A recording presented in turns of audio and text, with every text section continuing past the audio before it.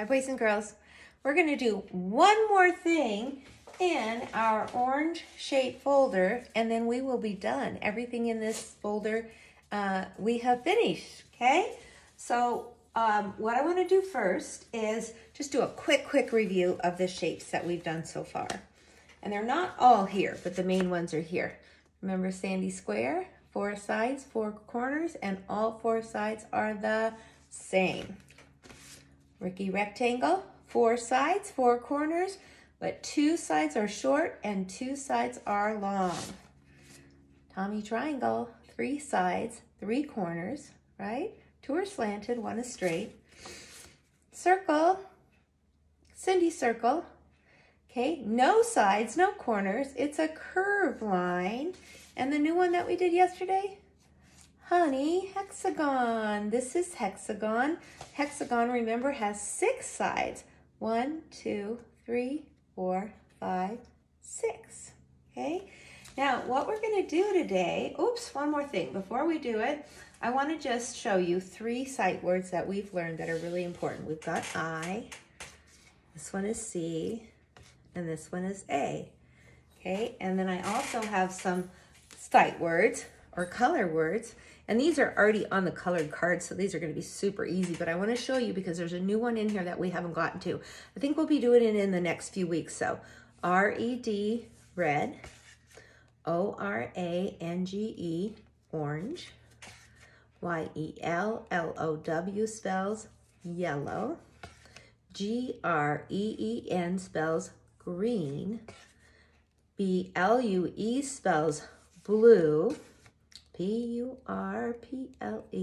purple, purple, B-R-O-W-N, that's how you spell brown. And the one that we haven't done yet, but you need to know for when we do this little book today is P-I-N-K. I bet you guys could sound that out. P-I-N-K, pink, pink. Okay, and you see it on the pink card.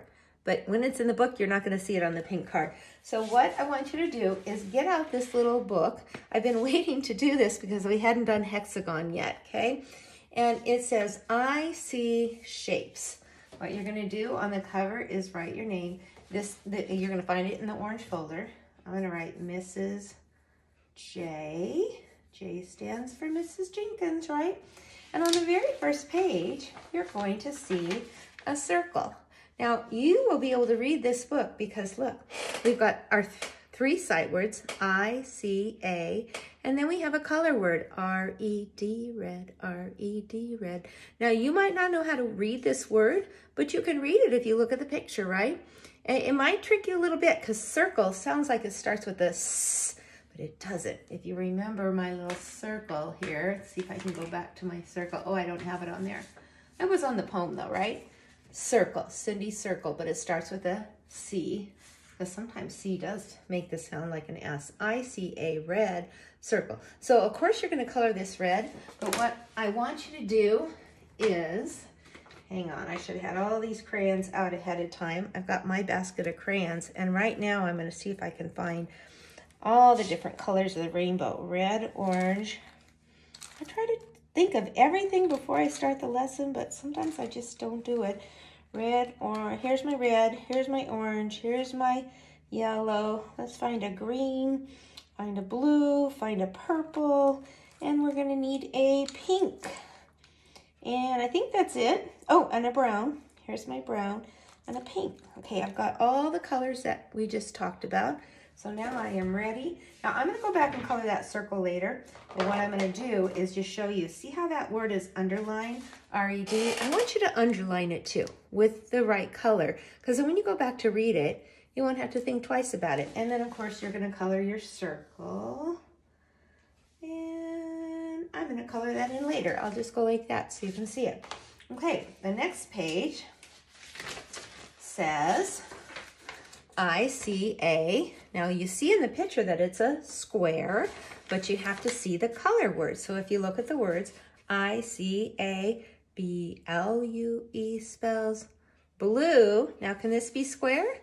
Yeah, even if you don't know how to spell it, look, squ, qu, square, square, okay? You know enough of those letters where you can sound it out. So I'm gonna underline the word blue with the blue crayon and I am going to color my square. And I'm gonna finish coloring that later, okay? All right, I'm gonna turn the page. The next one, we see it's a triangle. So we know triangle's gonna be in here, right? Yeah, we need to read the, the rest of our words to see what color it is. I-C-A, now we gotta spell it. Y-E-L-L-O-W spells what? Yeah, yeah, yellow. It's the only one of our color words that starts with a Y. So I'm gonna underline that word yellow and I'm gonna trace and color my Tommy triangle. And I will finish that later because I want to get through the book, okay? And then, oh, you guys are gonna like this one. I see a, I see a heart. Okay, and if this word wasn't there, that's what it would say. I see a heart. But we have a color word here. So we, I see a P-U-R-P-L-E. Do you guys remember that one? P-U-R-P-L-E, purple, purple, P-U-R-P-L-E. Purple's what that spells. Okay, I'll finish coloring that later. All right, and right now that's page five. I'm gonna turn the page. Okay, oh, we did this one.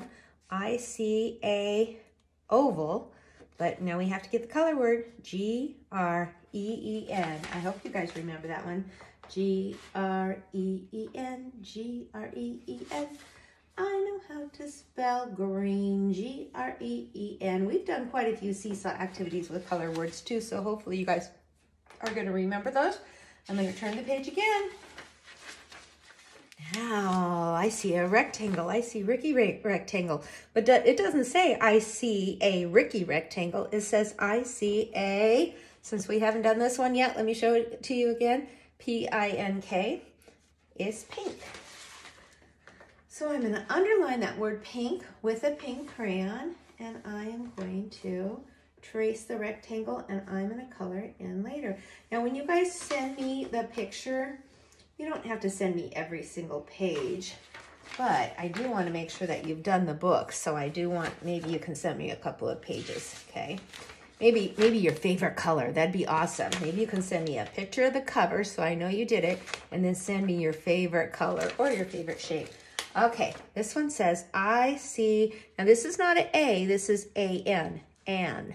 I see an, I'm gonna save that, star, okay? You might not be able to read the word star yet, but you see the picture of the star. Then you go back down. Could that be star? R, star, yes. Oh, and they all end with a period. Okay, here's the color word. O-R-A-N-G-E, O-R-A-N-G-E, O-R-A. N-G-E. Orange is what that spells, and I am tracing it right now. Okay, a star has one, two, three, four, five, six, seven, eight, nine, ten. Did I get that right? One, two, three, four, five, six, seven, eight, nine, ten sides. But that's the sides. But the corners are one, two, three, four, five, five corners. I'm gonna finish coloring that in later. And this is the last one. So you know what, boys and girls, I ended up adding this page. I had to make this page. Uh, I did it a long time ago because um, hexagon wasn't in there and we wanted to have hexagon in there. I-C-A-B-R-O-W-N, brown hexagon, hexagon. So I've got my brown crayon here.